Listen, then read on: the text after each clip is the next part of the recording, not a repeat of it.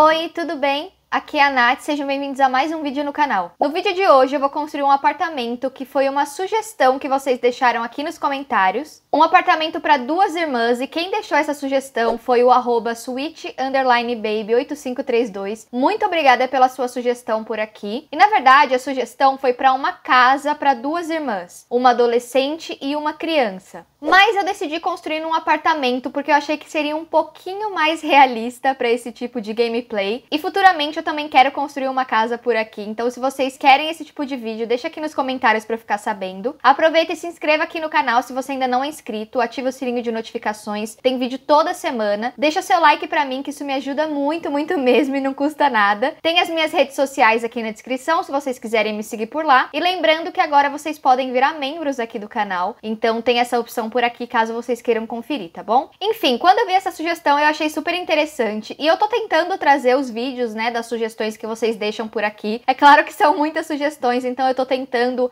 filtrar bastante e trazer o máximo que é solicitado por diferentes pessoas. Nesse caso aqui também é uma construção que eu já queria fazer por um tempinho e eu achei super interessante. Para ser sincera com vocês, eu nunca joguei com adolescente no jogo. Os adolescentes, na verdade, que eu já joguei, eles vêm da família, né? Então, refazendo a minha frase, na verdade, eu nunca joguei com um adolescente único no lote, assim, como se ele fosse minha única família naquele momento. Eu não sei exatamente como isso funciona e se a gente consegue colocar um adolescente para jogar sem precisar de um jovem adulto ou um adulto ou um idoso junto, né? E nesse caso ainda tem uma criança envolvida. Então eu acho que de fato a gente consegue fazer isso no jogo sem precisar de nenhum mod específico. Mas se vocês tiverem algumas dicas ou se for algo um pouquinho mais complicado, deixa aqui nos comentários para todo mundo ficar sabendo como funciona. Enfim, esse apartamento ele ficou um apartamento pequenininho. Eu tava imaginando que essas duas provavelmente passam por algumas dificuldades financeiras, ainda mais uma adolescente, né, que tá no colégio ainda, tá tentando passar por esse período e convivendo com a irmã dela, uma criança, né? Na verdade, o gênero não importa, vocês podem colocar o gênero que vocês quiserem. Mas eu fiz dois quartos bem legais, mais pra frente a gente vai falar um pouquinho sobre eles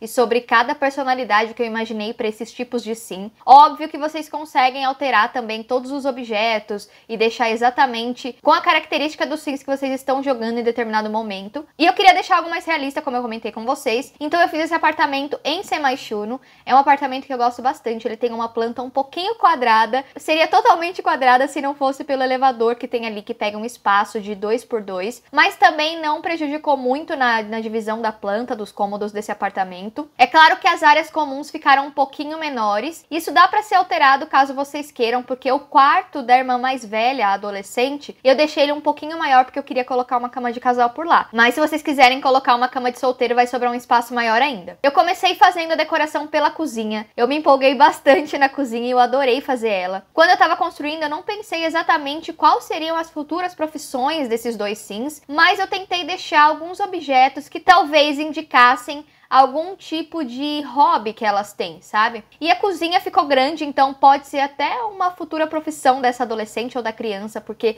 tem todos os eletrodomésticos que vocês precisam por ali. Inclusive tem dois fornos. Ali na cozinha, eu tentei colocar alguns elementos em amarelo e azul. Eu gostei bastante de fazer essa decoração. E eu acredito que todo mundo saiba ou desconfie que amarelo é a minha cor favorita, né? Então eu aproveitei para usar alguns elementos por ali. No geral, esse apartamento ficou bem coloridinho. Eu gostei muito das tonalidades eu tentei fazer essa divisão entre os objetos, sabe? Deixar tudo mais ou menos diferente para não dar um aspecto como se fosse algo planejado. Eu não sei se esse apartamento era dos pais delas, se aconteceu alguma coisa com eles. Eu não pensei exatamente nessa historinha de background assim, mas enfim, como eu tava falando, a cozinha ficou bem completa e tem dois fornos porque eu usei esses tons amarelos. E aí eu peguei uma geladeira bem bonitinha vintage, mas na parte do fogão ali, eu coloquei esse que vem com decoração dos sonhos, que ele é separado, né, o cooktop do forno, então você consegue consegue mesclar por ali. Eu coloquei o forno embaixo. E eu queria muito colocar esse outro forninho, que é um forninho separado que fica em cima do balcão, que também vem com decoração dos sonhos. Eu achei ele muito fofinho, então eu deixei ele ali do lado da geladeira. para passar um ar como se fosse meio que um micro-ondas, sabe? Mas é claro que a gente não vai ter esse tipo de interação no jogo, porque isso é um forno no jogo, né? Então, se vocês quiserem, por exemplo, tirar esse forninho em cima do balcão e trocar por um micro-ondas, fiquem à vontade. Ou se vocês quiserem tirar o forno de baixo do cooktop ali e colocar talvez uma lava-louças, também é uma opção. Eu deixei desse jeito porque eu achei legal a disposição e a coloração da cozinha no geral, então ficou bem bacana. Como eu falei para vocês, é uma cozinha completa, né? Então tem tudo ali que o Sim precisa. E eu não coloquei uma mesa de jantar nesse apartamento. Eu optei por colocar dois balcões ali para refeições rápidas, então as duas conseguem fazer as refeições por ali. Eu não quis deixar mais cadeiras disponíveis, mais assentos, porque eu tava imaginando que talvez elas não recebem muitas pessoas por aí. Talvez a irmã mais velha receba um amigo ou outro, né? Para fazer algum trabalho de colégio ou enfim, para conversar um pouquinho, talvez a melhor amiga ou melhor amigo dela. E eu não queria deixar esse espaço porque eu achei que não seria tão utilizável, mas é óbvio que dá para vocês tirarem também esses balcões e colocar uma mesa ali com mais lugares disponíveis. O balcão eu coloquei também alguns objetos em cima para dar a sensação que é bem utilizado. Na verdade, em todo o apartamento eu deixei muitas decorações espalhadas e eu tentei deixar também um aspecto mais bagunçadinho, porque eu imagino que a vida delas deve ser bem corrida e apesar da irmã mais velha ter mais responsabilidade, a criança também ajuda, né, no que ela pode, no que ela consegue, mas elas precisam conciliar com a vida de estudante, então não deve ser tão fácil assim. Além disso, eu quis fazer um espacinho para uma lavanderia nesse apartamento, então para dificultar um pouquinho mais ainda a gameplay. É claro que a gente não tem uma dificuldade tão grande para lavar e secar as roupas no jogo, mas é um plus aí na gameplay, querendo ou não, eu quando jogo pelo menos, eu sinto que os Sims, eles usam muito essa parte, eles toda hora vão lavar roupas. Mais uma coisa que eu esqueci de colocar aí, como quase sempre eu esqueço, são cestos de roupas sujas, mas eu já atualizei nesse lote, então quando vocês forem baixar ele na galeria ou no Patreon, vai estar tá com esse objeto que é necessário para acumular as roupas para lavar, né? Então fiquem tranquilos em relação a isso.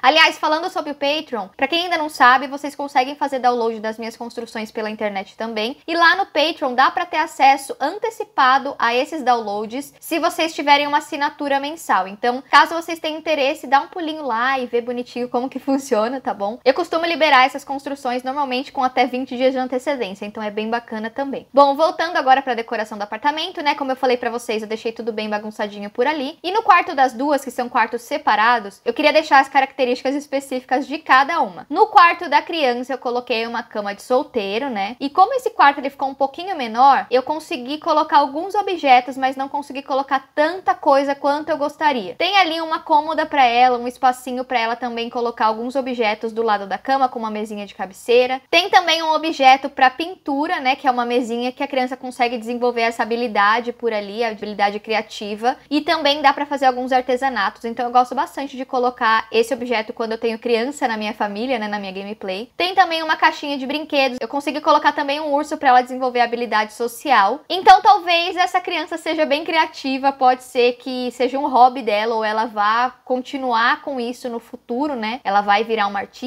ou algo do tipo. Enfim, acho que ficou bem legal por ali. Eu consegui colocar bastante coisa e tem duas janelas bem grandonas que entram bastante iluminação naquele cômodo. Eu adorei. Eu tentei também separar essa planta de acordo com as janelas que já vem no apartamento, né? Eu até poderia alterar com a ferramenta Tu, mas eu sei que nem todo mundo consegue fazer isso, principalmente quem utiliza console, né, para jogar o jogo. Então eu não fiz nenhuma alteração das janelas nem da porta. E o banheiro que tem aí, que é um banheiro pequenininho, simples, mas ele tá bem completinho, tem tudo que precisa, tem até uma banheira junto com o chuveiro. Ele não tem janela. Eu acho que não é algo tão ruim assim, pensando do ponto de vista que na vida real, inclusive, tem alguns banheiros que não tem janela, né? Mas se vocês quiserem fazer essa alteração com a ferramenta Tu, é super simples. Tem até um tutorial aqui no canal ensinando como fazer. Eu vou deixar nos cards para vocês assistirem depois, tá bom? E o último quarto, que é da irmã mais velha, na verdade é adolescente. Esse quarto é um pouquinho maior, como eu falei para vocês. E eu tentei fazer algo um pouquinho exclusivo para ela. Então, na parte que tem ali essa janelona grande também de vidro, eu consegui colocar meio que uma escrivaninha bem comprida. E eu já ensinei também a fazer esse truque lá nesse vídeo de tutorial da ferramenta Tu, então vocês conseguem ver todas essas dicas por lá. Tem um notebook ali para ela conseguir estudar e fazer os trabalhos do colégio. Tem também um guarda-roupas bem legal que eu coloquei do lado para dar a sensação como se fosse um objeto único, sabe? Ou sei lá, ela comprou e deixou ali do lado e meio que integrou com o restante ao redor. E nessa mesa, nessa escrivaninha do lado, eu quis fazer como se fosse uma penteadeira para ela. Então eu até coloquei um espelho ali, eu, com a ferramenta tua eu também inclinei ele um pouquinho para dar essa sensação que é um espelho que foi colocado ali, né? É, não vai dar para utilizar isso na gameplay, não tem como fazer uma interação, mas é legal dar essa sensação e eu gostei bastante como ficou toda a decoração por lá. Eu consegui do outro lado também da parede colocar algumas prateleiras. Talvez no decorrer da gameplay vocês consigam pegar alguns objetos que ela vai adquirindo e colocando por ali. Achei que ficaria bem interessante também essa ideia. E tem uma cama espaçosa de casal, mas essa cama eu consegui colocar ela pertinho da parede para não ter nenhuma obstrução de passagem pelo restante do quarto. E também deixei algumas decorações ali na parede, alguns pôsteres e alguns quadrinhos. Bom, gente, o vídeo foi esse. Eu espero que vocês tenham gostado. Eu queria agradecer novamente pela sugestão de vídeo. Eu adorei fazer esse apartamento, acho que ficou bem legal. Se você ainda não é inscrito no canal, se inscreva. Tem vídeo toda semana, tá bom? Deixa seu like pra mim, que isso me ajuda muito mesmo, gente. Deixa aqui, não custa nada. E me sigam nas redes sociais que estão aqui na descrição, tá? Muito obrigada por ter assistido até aqui. Até o próximo vídeo.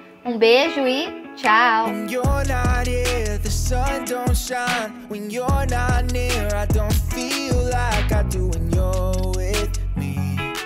It felt like suddenly our souls collided, hearts entwined. When I decided to make you mine, I'm never going back. I know that's a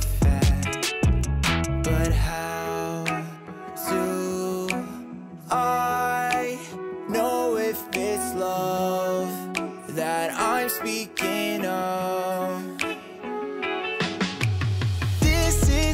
if I'm making you breakfast. This is love if I feel myself coming down